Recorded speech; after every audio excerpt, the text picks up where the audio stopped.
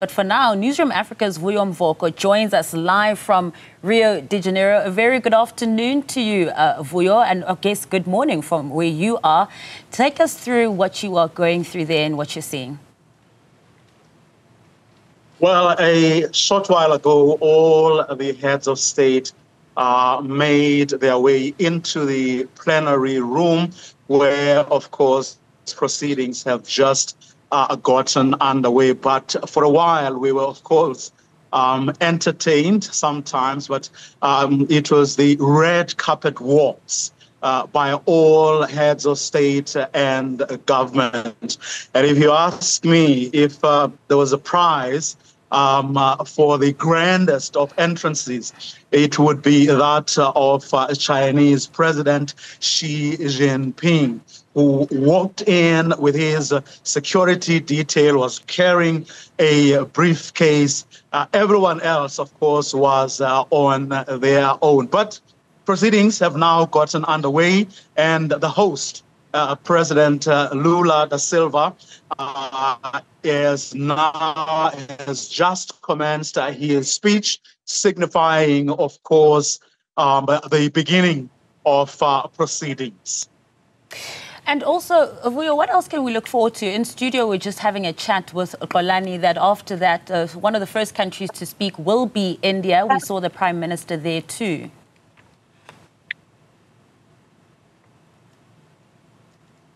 I lost you there, Masa, for a second. You don't mind uh, repeating that question? Sure. I was just asking um, what we can expect um, moving forward after this opening by the Brazilian President Lula da Silva um, from the Prime Minister of India. Well, of course, I mean, having been the president of the G20, I mean, for how the uh, year went by, the issues uh, that were canvassed, how far as the G20 they would have gone in executing the whatever tasks and ambitions um, that they would have had and of course, with that would come a handover, so to speak, to President Cyril Ramaphosa, who's going to take over as the new president of the G20, um, and formally, at least tomorrow. But of course, as from the new year, South Africa will be hosting all 200 or so meetings of the G20 that are going to take place, uh, all the way to uh, when this summit will be held in Johannesburg around this time next year.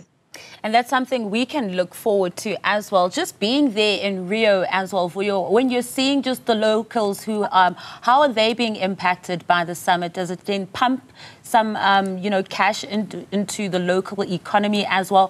What can we look forward to from what you're seeing from Brazil being the host this year? Look, I mean, no doubt about it. Summits like these do bring in, you know, all these delegations that come from all these meetings that are going to be held um, over the next year. But also, it's going to be a big test um, for all sectors of our society, from civil society, your academics, your intelligentsia, your experts, all the way to the government and business, um, trade unions. Everybody is going to have to put shoulder to the wheel.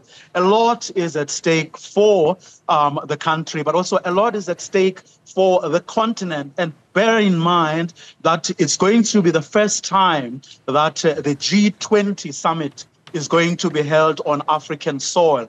Uh, a big uh, task ahead I mean, for the country and, of course, for the continent. Bearing in mind also that uh, the AU uh, has now been admitted as a member of uh, the G20. So there too lie a lot of opportunities for South Africa and the rest of the continent to set the tone um, for the next uh, G20 summit. A lot is at stake. I mean, you're talking about issues like climate change. You're talking about uh, the just energy transition, but you're also talking about, I mean, wars. There's a war in the Sudan, as of course there is a war in uh, between, I mean, Ukraine and Russia, and of course we all know what is happening. I mean, in the Middle East, and how South Africa, in particular, is deeply involved through that ICJ uh, process in the Middle East situation. So all these issues are going to come to the fore,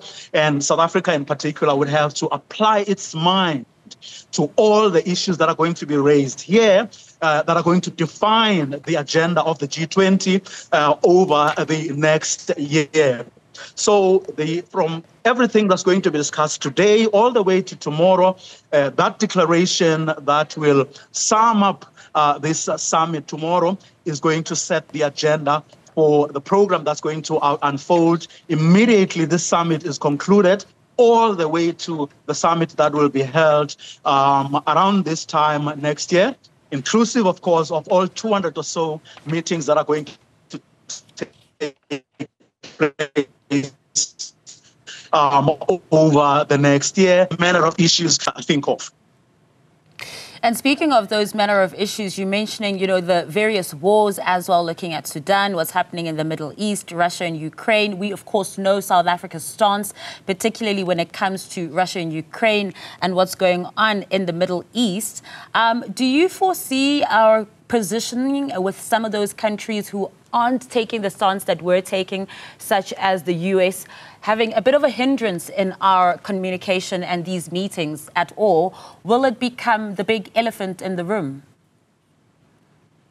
Well, some say so, or at least suggest so. I remember, I mean, um, the US has just gone into an election, and with uh, Donald Trump having taken over um, uh, or, or, or, set to become the new president. Uh, there's a lot of speculation about how he's going to deal with the situation in the Middle East, how he's going to deal with the uh, Ukraine Russia situation. Um, so everyone is waiting to see uh, what uh, he is going to say as soon as he assumes or formally assumes the presidency of the United States.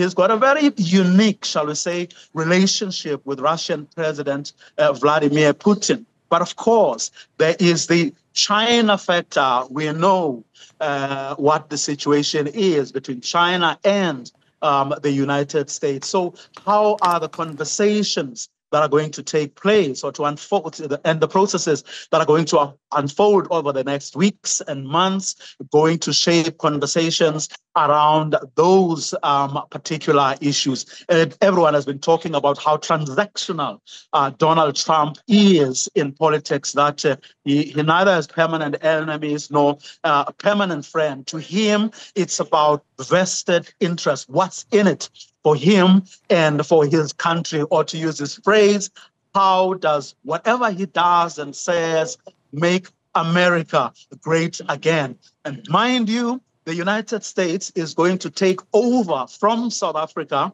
come this time uh, next year when the next um, G20 summit is going to be held. So he's going to have vested interest uh, interests. He's going to want to ensure that when he takes over, he is going to define the agenda of the G20 and make it in his own image, so to speak.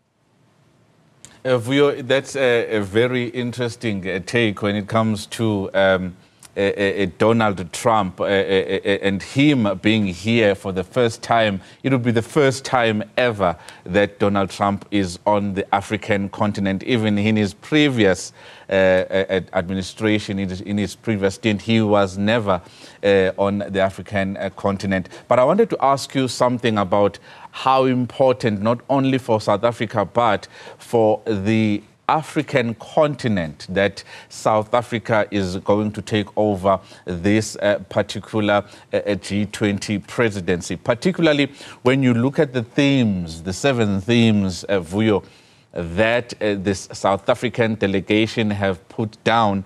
The first theme is about working towards the aspirations um, of Agenda 2063 of the African Union. And I know that's the framework that, is, uh, uh, uh that seeks to transform uh, uh, the whole continent into a peaceful, democratic, and uh, some a, a, big powerhouse.